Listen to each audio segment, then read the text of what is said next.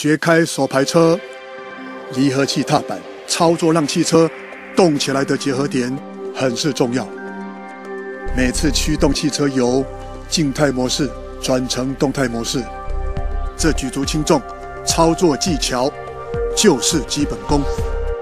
当离合器踏板松放稍微高了点，过头了，哇，引擎熄火了。离合器踏板松放的不到位，哇，汽车下滑了。这一脚挑战，可真定你生死哦。那么，操作上下坡道到底是在学些什么呢？有右脚先轻踩油门到转速两千转，然后再轻放离合器踏板的；也有左脚先轻放。离合器踏板，然后再轻踩油门到转速过一千转的。有的说这两者皆可，因为都差不多；但有的却属后者为最，因为离合器片造成受伤程度较少。重点来了，你可要懂得离合器踏板与引擎扭力大小的相对关系，其内在核心运作原理就是。典型的离合器包含了飞轮、离合器片、膜片压盘弹簧。飞轮和膜片压盘弹簧作为主动件，和引擎端发动机的曲轴连接；离合器片则为被动件，衔接变速箱输入轴，将发动机动力传导至变速箱。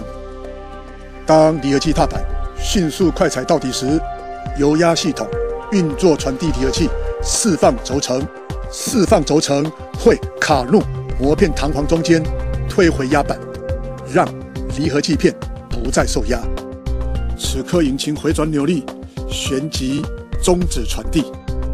当离合器踏板由低往高慢慢放开，将离合器片压往飞轮结合时，这时引擎动力由飞轮。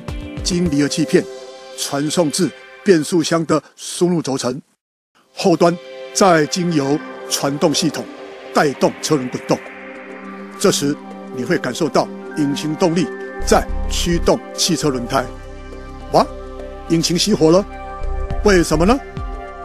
由于离合器建立在一个半联动状态下，当在结合的瞬间，前端引擎与后端的变速箱传动系统的机械无法同步，所以肯定是要熄火的。